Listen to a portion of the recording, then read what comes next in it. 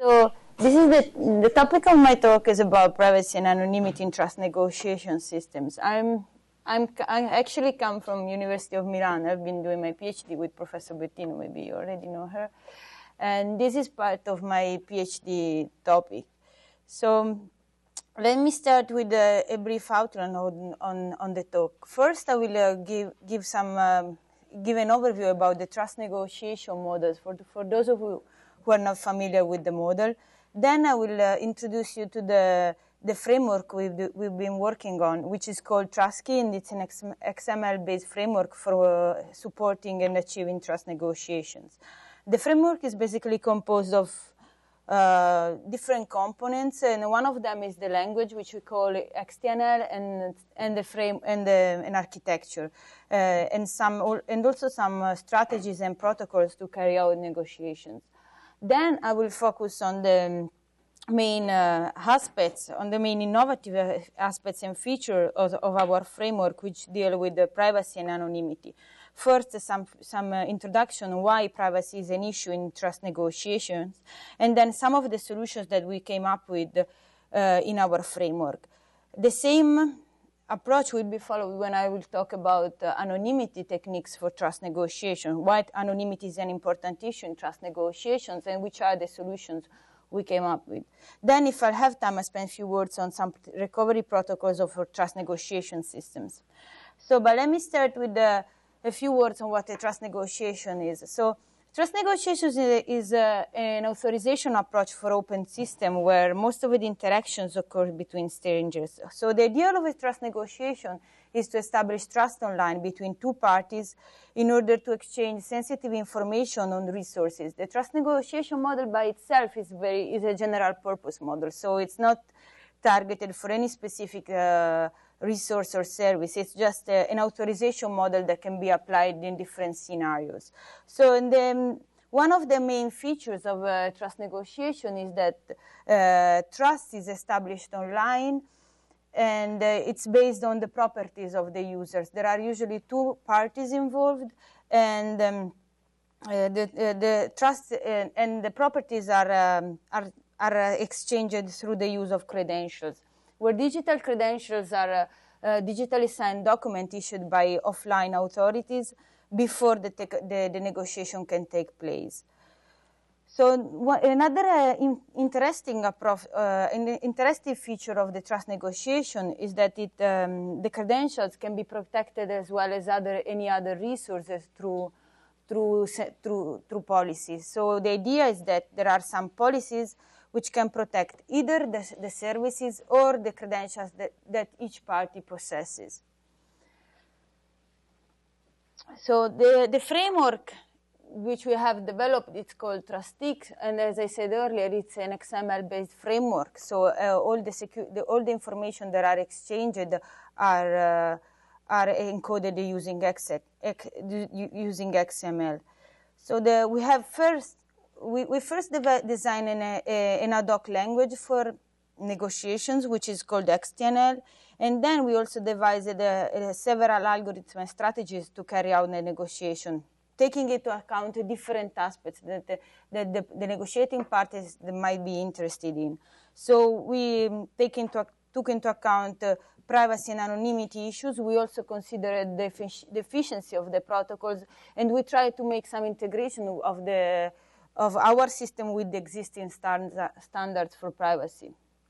We also have a system architecture since we did implement the framework to experiment and evaluate whether or not the, the language was flexible enough, was, uh, expressive enough, and also whether the strategies were uh, as efficient and uh, as promising as, um, and, were as efficient as we thought.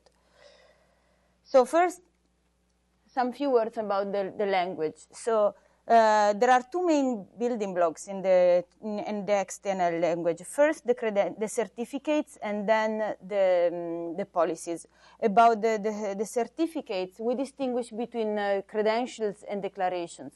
So credentials are, um, uh, are um, as I said earlier, digitally, digitally signed document issued by offline authorities, and in our specific language, uh, these uh, credentials are encoded using XML, and precisely every credential is an, is an instance of a, is an instance of a, a DTD do, is an instance of a of a DTD document, which means that it's a valid document and it's conform to to the to the document type definition. This enables a, a, a, typing system so that every credential is actually conforming to a specific type. The credential collects a bunch of uh, attributes uh, referring to uh, a specific uh, aspect or topic of the holder. An example of a credential might be, for instance, uh, a digital a digital driving license, a digital passport, or so forth. And declarations are very similar to credentials. The main difference is that the, they are self-signed, which means that it's the holder itself that issues and creates these credentials. And um, and they collect this kind, the, all those kind of information that are not really required, that do not, re, they are not really required to be signed by any other, any other party, but they might, but which might anyhow be useful during the negotiation. So another aspect that we, we, we took into account in our language uh, is about the collection and the management of all the credentials. The idea is that every subject that is in every negotiating party has its own uh, collection of credentials. So we have this concept of X profile, which is basically a, a, credential collector, and it's further organized into dataset, where datasets are basically uh, credential collector, credential and declaration collector, uh, referring to a same aspect of the life of the of the life of the owner or the, of the of the of the of the party. So as I said, um, besides the, the credential management and collection, we also defined uh, we also defined uh, our notion of disclosure policy. Disclosure policies are basically expressed by means of credential combinations that can be used to obtain authorization. And uh, disclosure policies are specified both for, uh, for protecting services as well as uh, credential themselves. So we encode disclosure policies in XML as well as the credentials, but we use this uh, simple formalism to for to, to to describe our algorithms. So the idea is, for instance, in this in this example, we have that the name of a certificate uh, with two brackets and another name of certificates with the specified conditions. The understanding here is that if there is no bracket, uh, the certificate itself is, is needed as a whole, as a proof of possession, and instead if there are some conditions in the certificate, uh, in, in the bracket, it means that uh, on the certificate some, some specific um, conditions have to be checked. So trust, specifying trust negotiation policies, however, is not as trivial as it might seem because um, usually uh, um, not uh, there is a, there is a, an underlying uh, implication on the on this type of encoding uh, on this on this type of encoding uh, disclosure policies. We are assuming that uh, everybody uh, every negotiation party already knows all the, the, the, credential types that are available and also that he has to specify manually all the equivalent or similar disclosure policies. So for instance, if I need to know just a, specific condition, that condition can be checked on different credentials. So the idea is that the, the, the, the policy writer has to specify all these, poly, all these uh, different and equivalent disclosure policies to be disclosed during the negotiation as an alternative. In addition to this, we have the, credential types. They do provide a syntactic structure, so they work, they work well for, um, for uh, helping the, the trust negotiation software to reference to similar credentials but do not specify anything about the interpretation of these attribute of the, the attributes in the credentials. So there is nothing really about the semantic of the uh, about there is nothing really about the semantic of the of, of the credentials. So to overcome these issues, we introduced the notion of ontology in trust negotiations. So the lack of this semantic in credential and attributes, in addition, makes it impossible to automatically detect relationship between different credentials. So there are some attributes that are, as I said earlier, they are really equivalent with one another. So the name in a passport is the name as the name in an ID card. But if we only have this uh, typing system, we don't have any underlying semantic. We cannot, we can't automatically detect any relationship between these different attributes. So we, for this was the main reason for introducing ontologies. The ontologies provide a formal specification for concepts and uh, also give a give, an, give a, a, semantic of the possible interrelationship between different concepts. In the trust negotiation environment, using ontologies means uh, associating uh, uh, to associating to the different attributes in, uh, in, in, the different credential a given concept. So a concept in, a, in, our, in, our, in our ontology is described as following. It is, a, it is given by a tuple, and we have a set of keywords and a set of attributes. The set of keywords are, are English words just expressing a given concept, and they are one uh, synonymous of another. And the lang set instead is the collection of the attributes that all implement the same concept. We make, of course, of course, we can we can have um, different attributes and different credentials which are uh, equi semantically equivalent, but they are defined over different domains. So for this reason, we make use of a, a translation function to compare the values of two semantically equivalent attribute conditions. We assume, of course, that our ontology is well defined, which means that there are no overlapping concepts and the concepts are all organized uh, using uh, generalization or specialization interrelationships. Uh, so using, uh, having a, a property-based policy, uh, sorry, having, a, having a, um, an ontology allows us to define policies at a higher level, at a more abstract level. So we can define the, the, policy not in terms of the specific credential, but we can define uh, policies in terms of in terms of properties.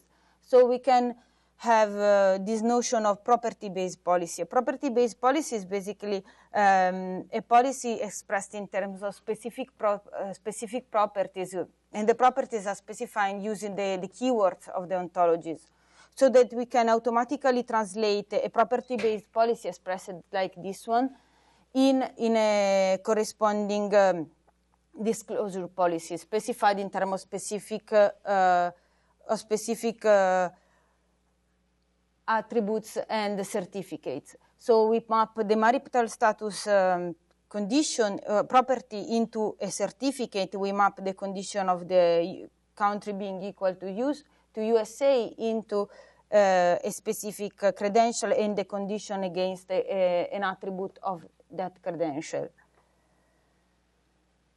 So um, this concept of disclosure sets is needed to, for our algorithms on uh, privacy and uh, anonymity. A disclosure set is basically the, the response to a given property-based policy or to a given uh, disclosure policy. A disclosure set is basically a set of attributes or credentials aiming at satisfying a given policy or a, a property-based policy. Uh, it will contain two kinds of attributes requested and non-requested ones. Requested are, are, are, uh, attributes that are explicitly mentioned in the policy, and non-requested ones are instead um, attributes that are present in the disclosure policy, but they're not explicitly mentioned in the policy. And we might need to have them, um, we might have them because, uh, as I said, the, the, the credential is not only collecting one single one single attribute, but it has a bunch of attributes. And in order to have the, that attribute disclosed, we need to disclose the whole credential.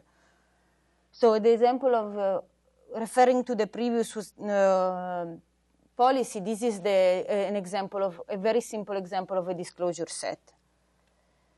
So the trust negotiation system uh, is, is organized as follows. We have different components, and the main components are the X profile that I mentioned earlier for collecting the for collecting the certificates and credential certificates and um, which are credential and declaration. We have a policy database collecting the disclosure policy or the property-based policy.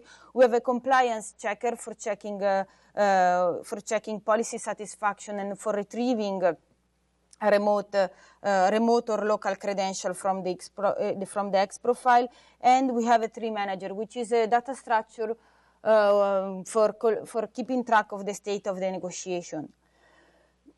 Here, the focus here is that or every every negotiation part, every nego negotiating party is also is always equipped with the same uh, uh, with the same architecture, which means that we just with the same um, system, which means that the the system is peer-to-peer, -peer, and uh, a same party in a negotiation may act as a as a as a as a server, as a as a requester, a service requester, and in the following negotiation, it might act as a as a as a requester.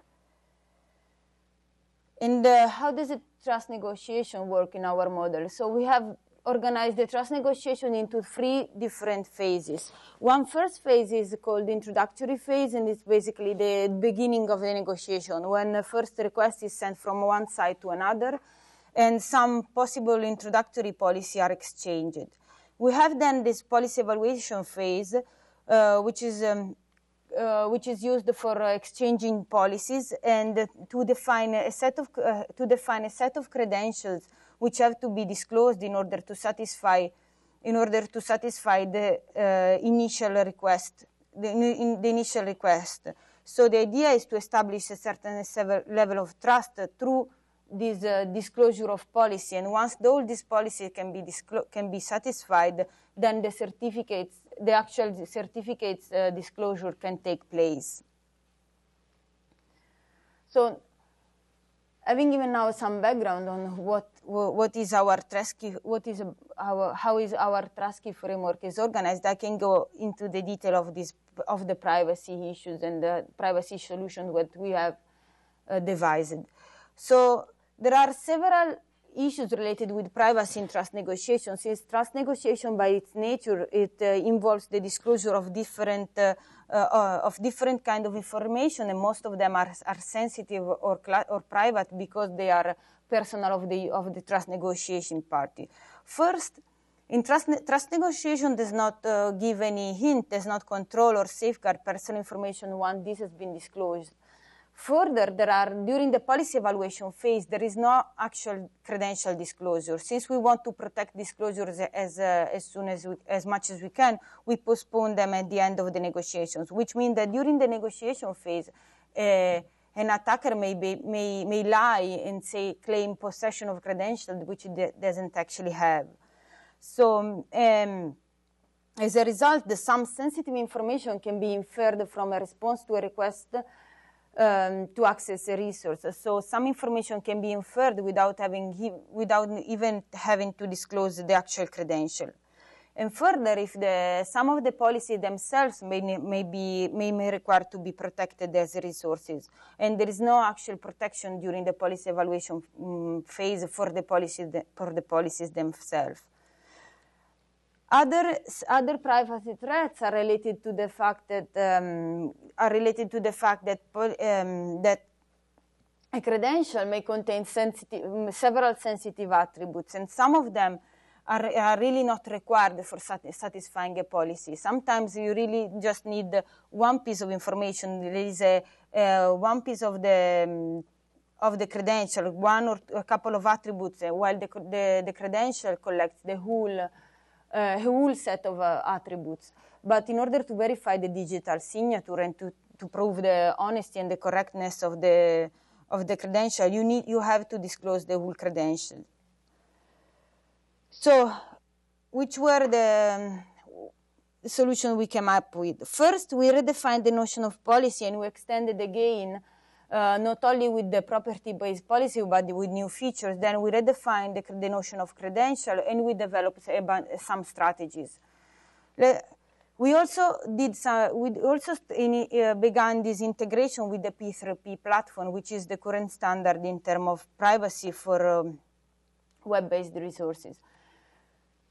So regarding the, the policy, we introduced the notion of policy preconditions, which means that one disclosure policy is a precondition of another one, so that uh, uh, one policy can be disclosed and can be can be open only if uh, this precondition is satisfied.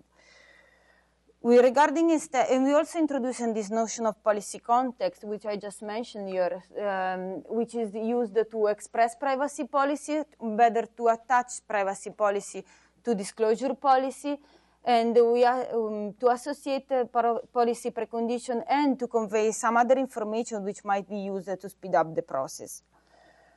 Regarding instead the, the, the credential, we reorganize the structure of, a, of the credential since every credential beyond the specific, uh, every credential beyond the specific uh, content and the specific type, it always collects some reference information about the credential related with the type, with the issue, and the temporal validity.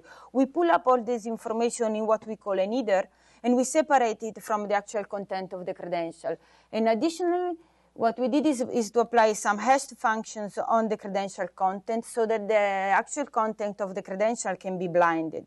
We compute the, the, the signature over the whole credential, hashed, the hashed credential, so that uh, the, the credential header can be disclosed plain, and uh, while the credential content can be, can be left blinded at first release. And uh, we, we, have, we have this notion of credential proof. For us, for us, the credential proof is basically uh, the disclosure of the header, leaving the, uh, leaving the, the whole content hidden.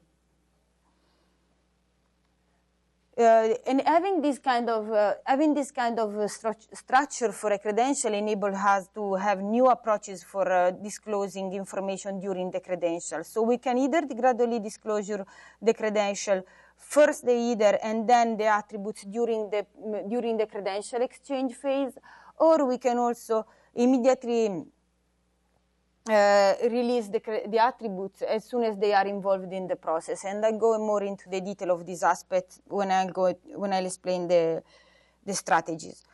So this is unreadable. I know that. So this is an example. I wanted just to give an example of uh, um, of, of, a, of, an actual credential. So there are different parts. There is just the, to make it more clear. So we have the header which is the which collects the credential type, an ID, the, ref, the issue, the reference of the issues, the expiration date. Then we have the content. Here it is an example of an hidden content, so it's just an hash, an hash value. There's no hint about the neither the name of the attributes nor the value. And then we have some fields for the signature. Okay, uh, now going into the detail of the strategies, not, trust negotiations can be carried out uh, uh, according to several strategies, which are referred to as strategies. There are different uh, definitions for strategies in trust, in, trust, in trust negotiation literature.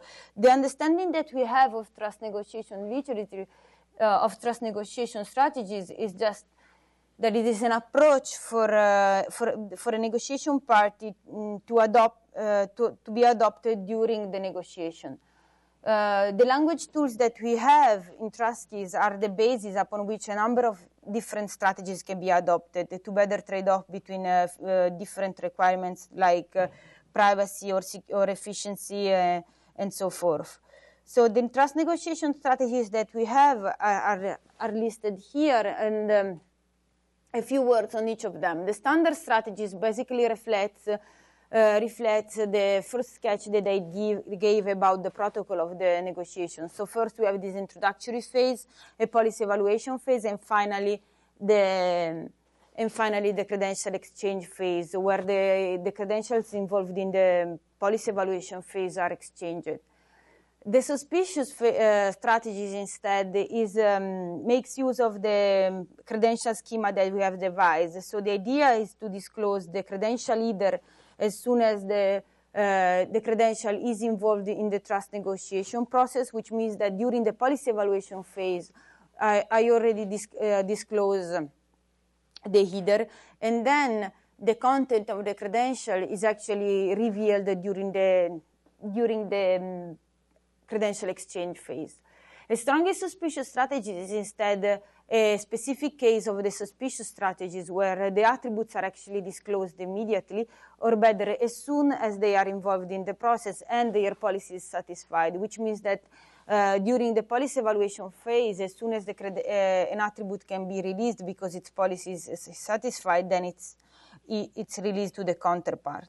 The trusting strategies, uh, strategies is uh, instead a strategy characterized by having one of the two parties uh, suggesting uh, some um, suggesting some policies to be some some following messages around so that um, some of the negotiation round can be skipped. And finally, mixed strategies.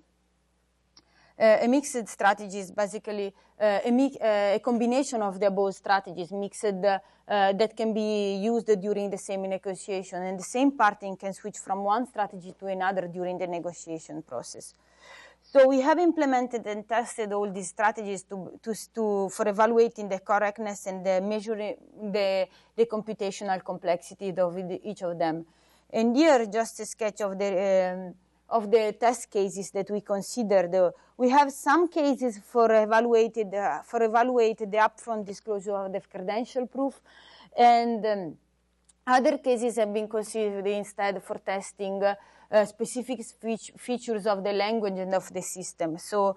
Uh, for instance, uh, to consider whether the cases when uh, there are policies are recursive, which means that one policy calls, calls another, and uh, to, to, to test other specific features of the language like uh, terms of um, attribute condition of a specific format and so forth. So this is, these are the main results that we got. And uh, as expected, the suspicious and the strongly suspicious strategies are the one on the, on the top of the graph, the purple and the yellow one, and they are the most uh, expensive in terms of time because there are, um, although the final, although with, the, with both these strategies, uh, the credential exchange phase is, is, very short. The policy evaluation phase requires a number of uh, additional checks and operations to be performed. And the overall uh, time is, uh, is greater than, um, than if we execute the negotiation with, with the standard strategies.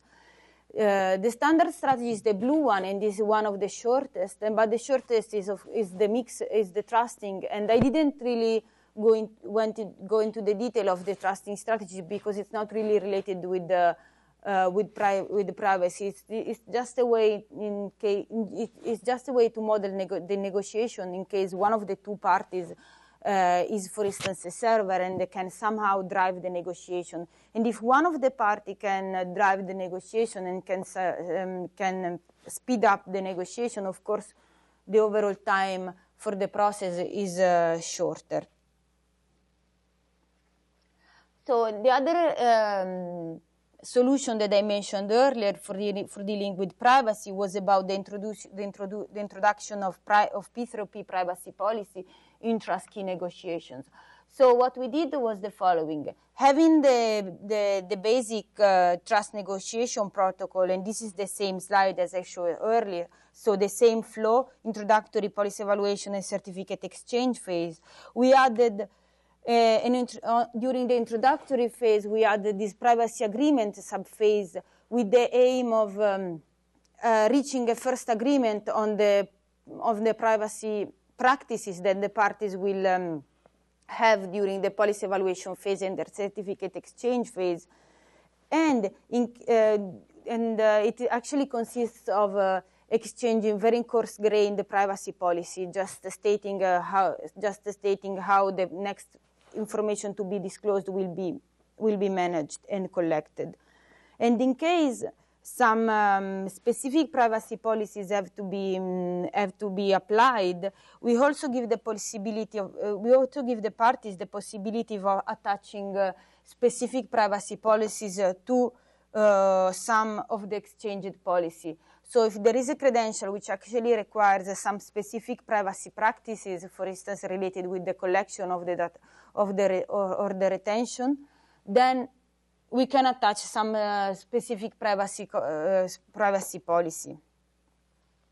So the, the, the privacy enabled, enabled, trust negotiation will have uh, will follow the, say, uh, the, this flow. We'll have this introductory phase, and during the introductory phase, some additional exchange are required for the privacy agreement subphase. And during the policy evaluation phase, uh, the disclosure the disclosure policy exchange can uh, can be can be executed together with uh, some P3P policy exchange, which are targeted for the exchange of the creden uh, credential information. So about, uh, uh, about the issue of anonymity. Uh, our work on anonymity started, of course, with uh, some questions or some um, some questions about how and whether anonymity is actually an issue in in the trust negotiation context. So since the trust negotiation is, as I said at the beginning, is very general and it can be applied in different scenarios, it turns out that actually uh, for many uh, trust negotiations, um, it might be very useful to have anonymous negotiation.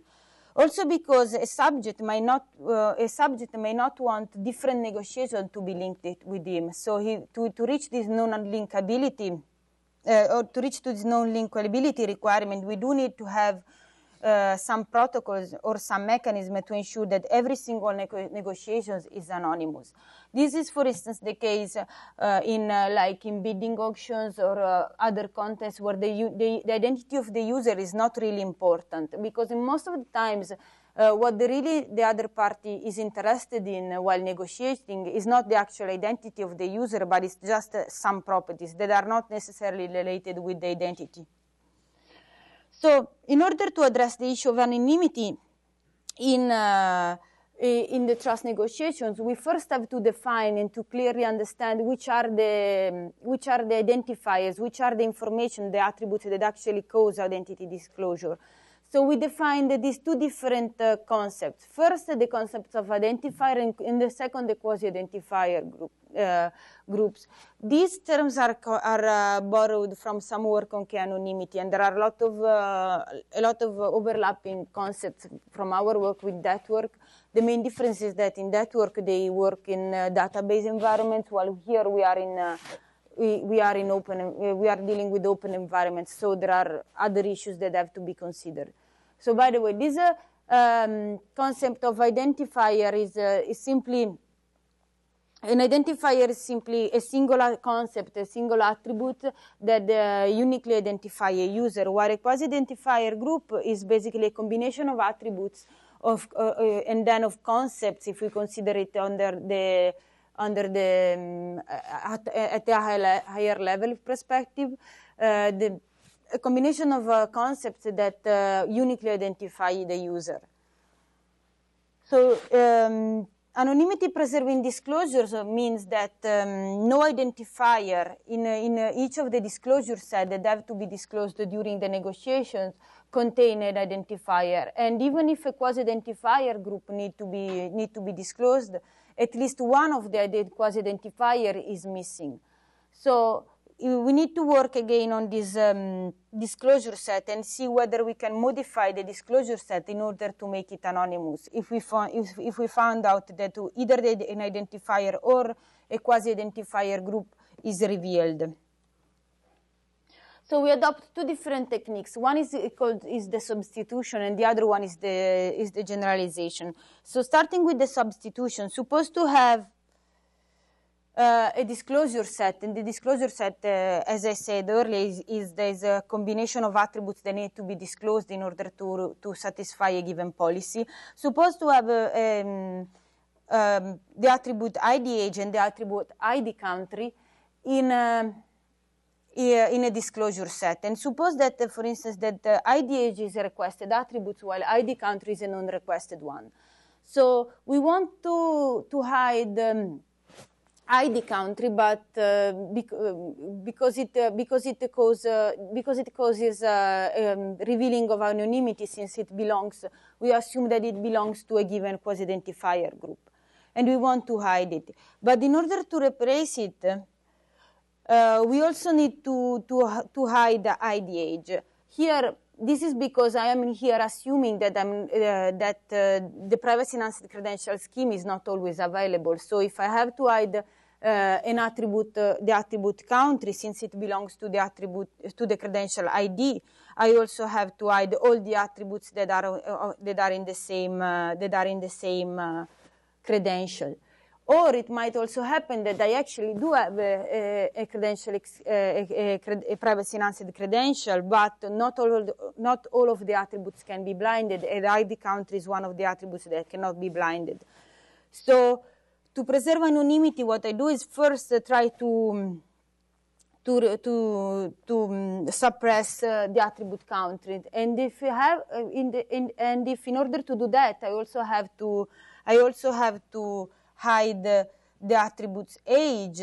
I might end up not uh, satisfying the policy because uh, because uh, ID age was a, a, required attribute. So what I do is to replace, uh, to substitute the attribute ID age with an equivalent one.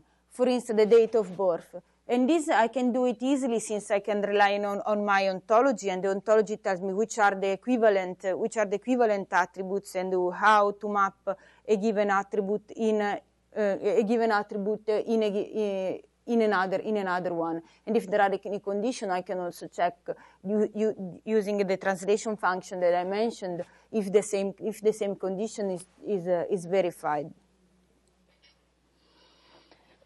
Regarding instead the other techniques that we adopted, that was the generalization technique, we rely on the use of a specific data structure, which is called um, which is called uh, concept graph, and this is an acyclic graph. And the idea is that to is to organize different concepts that the that the user has uh, in a, in a, using a generalization in, uh, a generalization um, uh, relationship. So. Uh, this, this concept is used for for the generalization technique, and how is it used? Supposed to have um, uh, so suppose that ID address is a requested attribute and causes an identity disclosure. So as, as similarly as uh, we do in the substitution, we replace the attribute with another one which is uh, which does, does, not cause identity disclosure. But if we cannot um, sub substitute it with an equivalent one because the, the, the, the attribute itself need to be disclosed to satisfy the policy. The only thing that you can do is to generalize it, to give a more general one, and hope that uh, a more general attribute, uh, a more general attribute will anyhow be accepted by the counterpart to satisfy the policy. So in this case, if I have ID, I, I have the address, I'll go, I'll check if I have, if there exists an, um, a more general concept for the, for, uh, for the, for the concept address and um, see if I have any attributes that uh, are mapped into this uh, more general concept that is, in this case, is city. So this is just an example. This is just an example on how it, it, all this process works. So we have a, a disclosure policy and two different uh, two different disclosure sets that can both satisfy our um, our policy. Of course, uh, a privacy uh, a privacy conscious uh, subject will also always try to to to to submit the, the the smallest set. So it will try first to to to to um, it will try first to, to submit the, the, the, second disclosure set, but if it cannot, then then it will uh, disclose the other set, and uh, eventually, if it's required, it will run one of those two protocols to preserve anonymity of the user. So uh, these were like the first uh, the first work that uh, the initial work that we did we did uh, on the anonymity.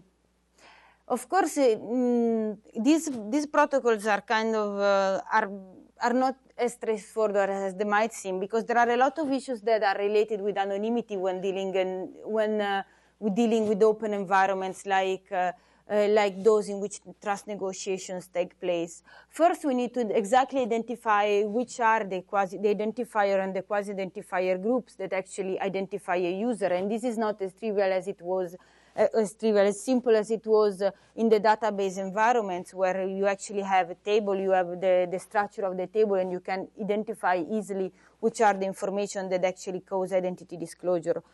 Um, further the other um, the other problem that we have and we need to come, we need to deal with a given context because uh, anon anonymity makes sense if I cannot distinguish a subject within a given context but we don't really have a clear notion of context in our in our trust negotiation environment. So let's keep this as example. So we have a, a consider consider the example of a student who is the only, the only French student in the chemistry department. Or now the the, the property nationality and the property department uh, affiliation is not always uh, revealing identity, but it might be if the user is a particular user which has particular values for that uh, for that uh, for that attributes. So in this case. Uh, uh, we do have identity disclosure and it's very difficult to detect it by analyzing simply the name, the attribute name, uh, the attribute name. So the user might not, uh, the, the, trust negotiation party might not have considered them as, as, um, as quasi part of a quasi-identifier groups because it was not really considering the, the environment in which the trust negotiation was actually taking place.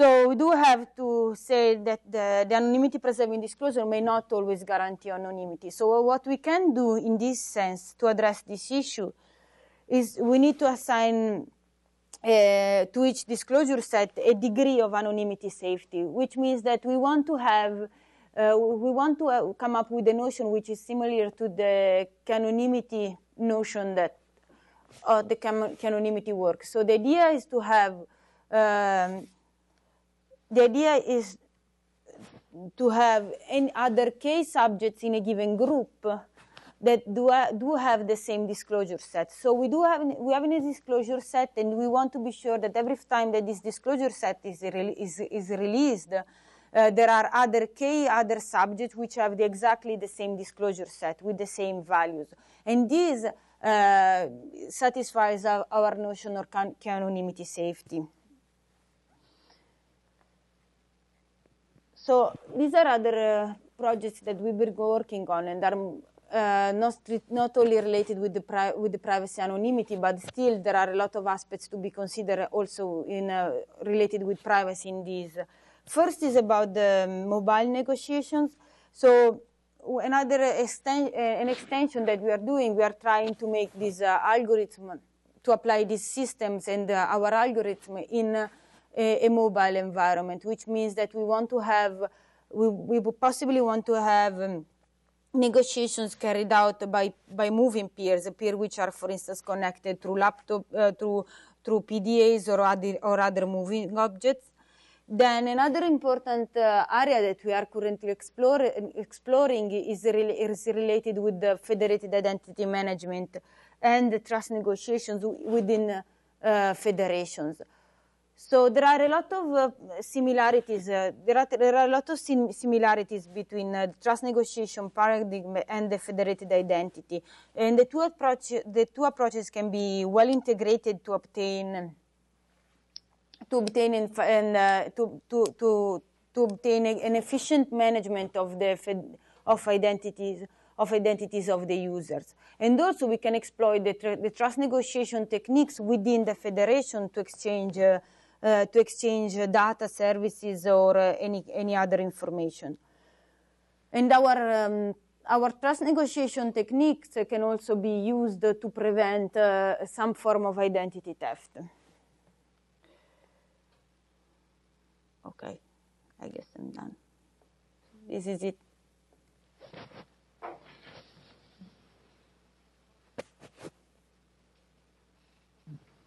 These are some references of the work we've been working on and